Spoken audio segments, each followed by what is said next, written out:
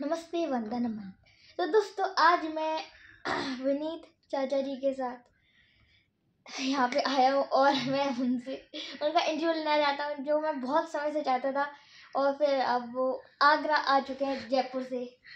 नमस्कार प्रणाम खुश रहिए आनंदम। आपका नाम तो इतना बड़ा हो गया मुझसे लिया नहीं जाता लेकिन जो घर का नाम है ओम ओम मैं आपसे बोलूँगा। जी। तो चाचा जी जैसे कि आप बहुत सारी कविता गाते हैं।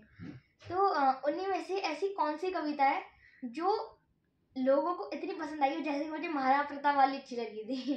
तो फिर ऐसी कौन सी कविता है जो लोगों को बहुत अच्छी लगी हो? और आपने इसको दिल से याद करा हो। किसी भी माँ की जितनी भी संतानें होती हैं उससे पूछो तुम्हारी सबसे प्यारी संतान कौन सी है? हम्म। तो कहेगा मैं बता नहीं सकता कि कौन सी संतान सबसे अच्छी है। उनके लिए सब संतानें बहुत अच्छी होती हैं। हम्म। तो मुझे तो सारी संतानें बहुत प्रिय हैं। फिर भी कभी कभी किसी का कलर अच्छा लगता है किसी की आँखें अच्छी लगती हैं तो दो तीन कविताएँ वो हैं जो मुझे भी अच्छी लगी और देश के श्रोता जनता को भी अच्छी लगी। उसमें एक तो आप जो राणा प्रताप की कह रहे हैं वो चूड़ा व शक्तावत की कविता है मेरी जो राजस्थान के इतिहास पर लिखी है। एक वीर सावरकर जी पर लिखी है और एक सैनिक की चिट्ठी। ये तीन कविताएँ मेरी देश को बड़ी पसंद आई हैं। अभी मेरी एक कविता है जो मैंने अभी लॉन्च नहीं करी है वो है महारथी कर्ण पर लिखी हुई। वो कभी जब आएगी रचना मुझे लगता है वो शायद और अच्छी आएगी। अभी मैंने उसे कंठस्थ किया नहीं है जिस दिन मुझे याद हो जाएगी उस दिन सब लोग सुनेंगे आप भी सुनेंगे। अच्छा तो फिर मतलब कि बाहर पर बाहर वाली बहुत अच्छी लगी। उसकी एक लाइन जो मुझे कुछ ज़्यादा अच्छी लग गई। हम्म। वो थी इतना तो पानी नहीं जितना जितनी हाँ। नदियाँ बहती हैं। जहाँ शीश ले निज करतल पर युद्ध किया करते हैं और मान के धनी प्राणधन वार दिया करते हैं। राजस्थानी धरा शौर्य की कथा कहा करती है पानी कम है मगर रक्त की नदी बहा करती है। ये वो लाइन है जब हम पर कहा जाता है राजस्थान बड़ा सूखा है तो मैंने उसका जवाब दिया था हम तो शौर्य के हैं वहाँ तो खून की नदियाँ बहती हैं। वो लाइन काफ़ी पॉपुलर हुई अच्छा लगा। मुझे मुझे वाली लाइन बहुत अच्छी लग गई थी। जी। और मतलब कि ये जो महाप्रता वाली कविता थी इसके लिए आपके पास कहाँ से आइडिया है? मतलब कि आपने कहाँ से सोचा? ओह, ये आपने वो सवाल पूछा जो आज तक मुझसे किसी ने नहीं पूछा। जब मैं आपकी तरह बहुत छोटा बालक था तो मैं नाइन्थ क्लास में पढ़ता था। हमारे कोर्स में एक कहानी थी, दरअसल में ये। ये मैंने वहाँ पढ़ी थी। और मेरे बालक मन में ये अबोध समय पर डल गई। बहुत बड़ा हुआ तो मुझे ध्यान आया, कोई ऐसी कविता, ऐसा कहानी मैंने कहीं इंग्लिश के उसमें मैंने पढ़ी थी। हमारे इंग्लिश के थे उसमें एक कोर्स में। फिर मुझे लगा कि ये कविता में ढाली जानी चाहिए। तो मैंने वहाँ इसे पढ़ा और फिर मैंने इसको कविता के रूप में ढाला और संयोग से सबको पसंद आया जैसे तुम्हें पसंद आया। जी। तो फिर मतलब कि आपकी ऐसी कविता है जो आपने नाइन्थ क्लास में पढ़ी थी। हाँ ये कविता नहीं थी उस समय उसमें कहानी थी इंग्लिश के अंदर है ना?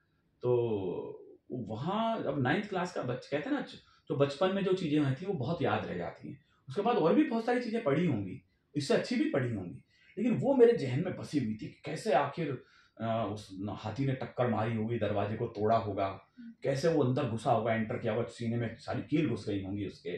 कैसे उस दूसरे योद्धा ने सर काट के अपना अंदर फेंका होगा।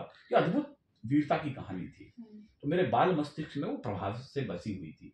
बड़े होकर मैंने उसे ढूंढा उस कहानी को दोबारा पढ़ा फिर उसे कविता में कहा जो लोगों को पसंद आई मतलब कि आपको ये दिल से चाह गई। दिल मेरे दिल में समा गई थी कविता बिल्कुल ठीक कह रहे हैं मतलब कि एकदम आप सोचने लगे होगे कि ऐसा कैसे हो सकता है। हाँ मुझे लगा कोई आदमी वीरता के लिए इतना भी कि सर काट के अपना अंदर फेंक दे। और दोनों को किस लिए? कि सामने पहले कौन लड़ेगा? बस। इस इस जिद के लिए। लोग मतलब क्या वरना उसको तो युद्ध होता है भैया मैं पीछे रहूँगा। वो क्या कह रहे थे? मैं पहले रहूँगा पहले मरूँगा पहले लड़ूँगा। इसके लिए किसी का युद्ध हुआ हो ये विश्व के इतिहास का अब तक का अकेला युद्ध हुआ जैसे पंद्रह हज़ार हम्म। यस बिल्कुल इतने और वर्ष। और मतलब कि साठ से खतरनाक योद्धा खतरनाक योद्धा थे और जबकि पंद्रह हज़ार जीत गया था। देखिए आप हाँ बिल्कुल। मतलब कि आपको ये अह, महाप्रताप वाली आपको इस तरीके से अच्छी लगी। हाँ चूड़ा बख्शता वाली वो उनके बेटे थे अमर सिंह महाराणा प्रताप के जो थे बेटे उनके शासन में दो सेनापति थे। महाराणा प्रताप पर नहीं है पूरी कविता उनके बेटे के दो सेनापति थे चुंडावत और शक्तावत। उन पर लिखी हुई कविता है। पर लोग कहते हैं कि अमर सिंह शाहजहाँ के नीचे मतलब कि उन्होंने शाहजहाँ के अंदर सिलेंडर सिलेंडर। सरेंडर नहीं नहीं ऐसा नहीं है। असल में क्या है हमारे जितने भी इतिहास हैं वो उस समय हम लोगों ने तो लिखे नहीं थे। हम्म, उस समय या तो मुगल लोग थे या फिर बाद में अंग्रेज़ लोग आए। तो वो हम लोगों के शासन को शासन या हमारी वीरता की कहानी वो पराजय में बदलते रहे। हल्दी घाटी में ये हो गया फलान जगह ये हो गया जबकि अनेक जगह ऐसा हुआ है बल्कि ज़्यादातर जगह ऐसा हुआ कि हमारे लोग जीते युद्धों को। लेकिन उनको पराजय में कहा। तो ऐसा नहीं है कि उन्होंने सरेंडर कर दिया या ऐसा कुछ हो गया। वो सब नहीं था। ये सब बेकार की बातें हैं। हाँ पर मैंने किस जगह पढ़ा था कि अमर से अमर अमर सिंह? अमर सिंह ने हम्म। शाहजहाँ को सत्रह बार हराया था। वो मोहम्मद गोरी का आता है। मोहम्मद पृथ्वीराज चौहान ने उनको हराया था। तो हम लोगों की क्षमा की प्रवृत्तियाँ रही हैं हम लोग क्षमा करते रहे वीरता के कारण से और उन लोगों को जब एक बार भी मौका मिला उन्होंने अपनी क्रूरता का कोई मौका नहीं छोड़ा। चाहे आज आप कश्मीर में आप देखिएगा मतलब मुगल लोगों का डीएनए ही ऐसा है कि उनके अंदर हत्या करना नहीं है क्रूरता पूर्वक हत्या करना। अभी मैंने कश्मीर फ़ाइल फ़िल्म देखी है। आपने पता नहीं देखी कि नहीं देखी? तो उसमें कैसे कैसे उनमें से देखिए आप अत्याचार किए गए उन लोगों के ऊपर। और वहीं के रहने वाले लोगों ने अपने ही पड़ोसियों को मरवा दिया। धोखे से अंदर छिपा हुआ है। और फिर उस महिला को आरे से चीर दिया। हाँ, क्या- कर रहे हैं? कैसे कर रहे हैं आप? देखिए तो आपसे गोली भी मार सकते थे नहीं?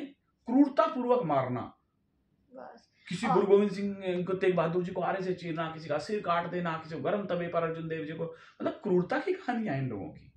हम लोगों की क्षमा की कहानियाँ हैं और इन लोगों की क्रूरता की कहानियाँ हैं।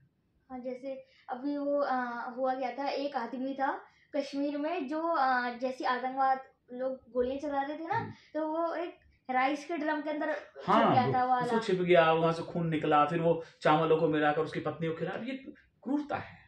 आपकी किसी दुश्मनी आप गोली मार सकते हैं सिर काट सकते हैं क्रूरता है। ये नहीं होना चाहिए शत्रुता का भी एक सलीका होना चाहिए। ज़्यादा से ज़्यादा गोली मार देते हाँ हैं एकदम तड़पा तड़पा हाँ।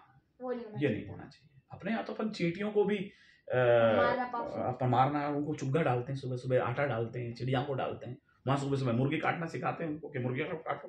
तो हमारे मौलिक संस्कारों में ही अंतर है। हिंदू धर्म जितना उदार है बाकी धर्म अच्छे होंगे अपनी जगह लेकिन कुछ चीज़ें हमें सोचने पर विवश करती हैं कि वो लोग इतने उदार क्यों नहीं है। ऐसा मुझे है हाँ पर ये बात सही भी है एक जगह से देखा जाए तो ये बात हाँ। सही है। बिल्कुल। और ये जो आपकी कविताएँ हैं तो फिर ये एक महाप्रताप की एक ऐसी कविता थी जिसमें आपने नाइन्थ क्लास में पढ़ा था ऐसी कोई और कविताएँ जिनको आपने नहीं नाइन्थ क्लास में नहीं फिर मैंने फिर अन्य कहानियाँ सुनी जैसे सावरकर जी की मैंने कहानी सुनी। उनको मैंने एक भारत के महापुरुषों की कहानी से करके मैं गुरुकुल में पढ़ता था। मेरठ बागपत में जहाँ के मूलतः रहने वाले हैं। तो वहाँ से मैंने को भारत के महापुरुष। उसमें मैंने वीर सावरकर की वो कहानी पढ़ी और उसमें एक चित्र बना रखा था। वो कोलू में जुड़ते हुए हैं और उनको अंडरवेयर पहना रखा है जेल के कपड़े पहना रखे हैं। मैंने कहा ये कौन है जो पशु की तरह से जो जोता जा रहा है? तो मैंने उस कहानी को बड़ी रोचकता से पढ़ा। तो मुझे लगा ऐसे भी थे क्या जिन लोगों को बैल की तरह कोलू में जोड़ दिया है तेईस साल तक अगले जेल में रहे। तेरह साल तो अंडमान काला पानी मैं गया हूँ अंडमान काला पानी के अंदर। अब गए? मैं गया हूँ। उस इत, इस छोटी सी कोठरी मतलब वो मतलब समझिए चार फीट इतनी बड़ी रही होगी। उसी में नहाना उसी में लैट्रिन करना उसी में पीना उसी में रहना तेरह साल कोठरी में रहे। और नीचे देखो यदि वहाँ से तो वहाँ फांसी घर था जो फांसी को तड़पते हुए आदमी को आप देख रहे हो हंटर पड़ रहे हैं कोड़। तो उनको ऐसी जगह रखा गया था सावरकर को जहाँ से उनको वो सब चीज़ें दिखती रहे वो डरे। लेकिन तेरह साल तक वो आदमी उस जेल में रहा। और दुर्भाग्य देखिए इस देश का कि हमारे देश में उन महापुरुषों की जितने इतने बड़े योगदान हैं उन पर भी हमारे राजनेताओं ने प्रश्न चिन्ह लगा लिए। मुझे कई बार लगता है कि इस देश की राजनीति को थोड़ा ऊपर सोचना चाहिए। हो सकता है कोई महापुरुष उस पार्टी की तरफ़ चला गया हो कुछ उधर चला गया हो लेकिन है तो सब भारत के। लेकिन ये दुर्भाग्य हमारे देश का कि बहुत अच्छे महापुरुषों को भी राजनीति ने गलत चश्मे से देखा जो नहीं देखना चाहिए। आने वाली पीढ़ी को बताना चाहिए कि इनका बड़ा योगदान रहा है। अच्छा ओके। अ, अंकल जी आपको call हम्म। हाँ तो मतलब कि आपने ऐसे आपने ज़्यादातर कविता अपनी बुक से पढ़ पढ़ के हाँ पढ़ना चाहिए सुनना चाहिए। सैनिक की चिट्ठी को मैंने बुक में नहीं पढ़ा सैनिक की चिट्ठी मेरी है। वो मेरे सामने करगिल का युद्ध हुआ। मैंने देखा इस देश में सारे टेलीविज़न पर आया और जहाँ मैं पढ़ाता था राजस्थान में जहाँ मैं लेक्चरर था वहाँ का वो स्टूडेंट था जो युद्ध में गया था वो पूरी कहानी उसकी है कि उसने वहाँ से चिट्ठी लिखी अपनी माँ को पत्नी को पिता को। वो मैं देखा सब कुछ। तो मैंने देखा देखो सैनिक कैसे लड़ रहे हैं अपने परिवार को कैसे याद कर रहे हैं अपनी घाटियों पर। कुछ वो मैंने सच्ची घटना पर लिखी मैंने करगिल पर। तो ये तीन कविताएँ थी जो मेरे जीवन का सच हैं और वो लोगों को पसंद भी आई। ओके तो मतलब अ, कार कुछ पढ़कर और कुछ सुनकर कुछ देखकर। ऐसा देखते हैं तो कविताएँ लिखी जाती हैं। आज तुम हमारे साथ आए मुझे बहुत अच्छा लगा कि आपसे मुझे बातचीत करनी पड़ी और खूबसूरत लगा मुझे कि तुम छोटे पत्रकार बन गए मेरे लिए। तुम्हें बहुत बहुत आशीष शुभकामनाएँ फिर अपन मुलाकात करेंगे आपसे। आज तो मैं ताज महोत्सव में अब कभी सुन के मुझे जाना है फिर आपसे अनुमति लेंगे। बहुत बहुत शुक्रिया। तो दोस्तों अगर आपको मेरे चाचा जी के साथ एक छोटा सा इंटरव्यू छोटी सी बात अगर आपको अच्छी लगी हो तो नीचे लाइक कर दीजिए और सब लोगों को शेयर कर दीजिए ताकि सब लोगों को पता चल जाए कि हमारे देश के साथ क्या क्या हुआ और कैसी कैसी कविताएँ हैं जो आपको देखनी चाहिए। सॉन्ग्स भी देखनी चाहिए कविता भी देखनी चाहिए कुछ ना कुछ। और नीचे एक सब्सक्राइब ज़रूर कीजिए धन्यवाद।